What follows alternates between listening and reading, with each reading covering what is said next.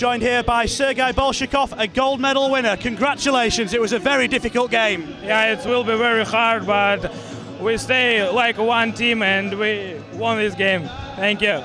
And it was the power play goals that made the difference.